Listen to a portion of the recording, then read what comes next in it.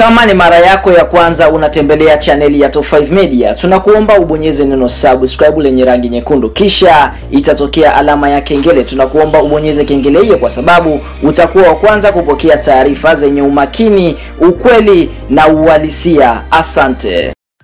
Yes bwana, moja kati ya habari kubwa ya kimichezo ambayo siku ya leo imeweza kuwa gumzo ni kuhusiana na sakata la kocha Pablo Franco Martin ambaye kwa sasa anakifundisha kikosi cha timu ya soka ya Simba kuwa katika hali mbaya, ambapo kocha huyu tunaona kwa upande mwingine tayari baadhi ya wadau wa klabu ya soka ya Simba na mashabiki wameanza kuweka presha kubwa kwa kocha huyu na kudai kwamba kocha haitendei klabu ya soka ya Simba haki, kwa sababu ukiangalia mpaka sasa tunavyoona katika takwimu, kocha Pablo Franco Martin amefanikiwa kuichezesha Simba michezo 30, yani michezo ya FA hapa tunaenda kuongelea kombe la Azam Sport Federation Cup, bila kusahau kombe la shirikisho barani Afrika, kombe la mapinduzi lililofanyika kule Zanzibari na ligi kuu ya NBC. Basi ameichezesha Simba michezo 30. Katika michezo hiyo 30 ameshinda michezo kumi na saba amepoteza michezo sita ametoa sare michezo saba katika michezo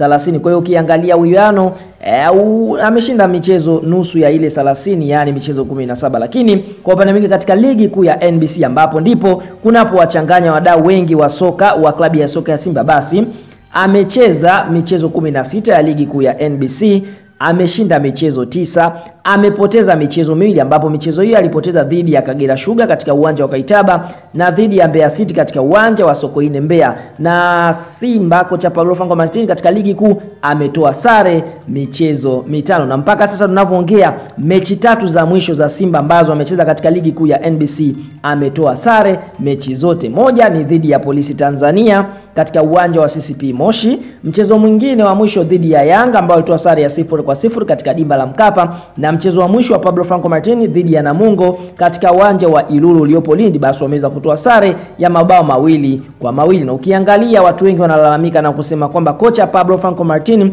hana kikosi kamili, kwa sababu anabadilisha badilisha kikosi mara kwa mara. Kwa hiyo inapelekea baadhi ya wachezaji kuto kuelewana falsafa zao. ndio maana Simba inashindwa kufurukuta inapokutana na baadhi ya timu katika ligi kuu ya NBC. Kwa hiyo presha imeanza kuwa kubwa kwa kocha huyu, na taarifa zinasema kwamba huenda Simba wakamchunguza katika michezo hii ambayo imebakia. Huenda kocha labda ameshindwa kuendana na falsafa ya klabu ya soka ya Simba, ameshindwa kuendana na wachezaji wa klabu ya soka ya Simba jinsi ambavyo anatakiwa eh, kuwafundisha kuwa, kuwa, kuwa kwa sababu ukiangalia watu wengi wameweza kulaumu na kwenda mbali zaidi na kusema kwa nini Simba inashindwa kupata matokeo mikoani. Ukiangalia Simba imepata tabu sana kupata matokeo eh, mikoani. Unakuta katika mechi tatu za mikoani unazoshangaa Simba anaambulia pointi moja, na, na kinachouma zaidi ni zile mechi tatu ambapo Simba alicheza dhidi ya Mbeya City akapoteza akaenda kucheza dhidi ya Mtibwa Sukari akatoa sare na akaenda kucheza uwanja wa Kaitaba akapoteza. Hizo ndizo mechi ambazo wadau wengi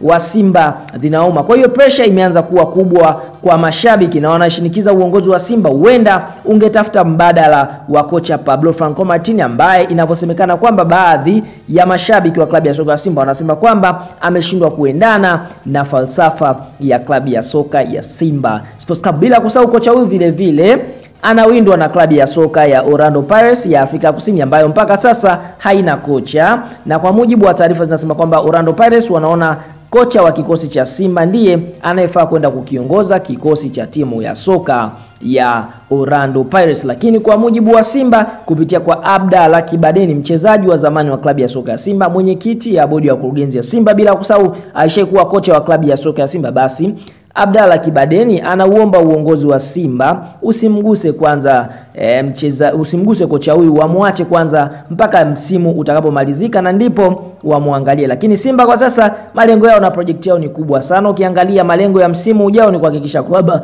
wanakwenda kutikisa katika ligi ya mabingwa barani Afrika. Kwa hiyo kwa upande mwingine, Simba huenda wakakaa chini wakashauriana na Pablo Franco Martin, kwa sababu ukiangalia hata mkataba wakati Pablo anausaini, basi ni anausaini wakati anajiunga na klabu ya soka Simba, ilikuwa malengo yake ni kutetea ubingwa wa ligi kuu ya NBC kuifikisha Simba hatua ya nusu fainali ya kombe la shirikisho, bila kusahau kwamba ndio malengo ya Pablo na Simba yalikuwa ni kulitetea lile kombe la shirikisho nchini Tanzania, ambapo kwa sasa Simba wapo hatua ya robo fainali dhidi ya Pamba. Eh bwana, nenda eneo la comment ka comment kwa upande wako.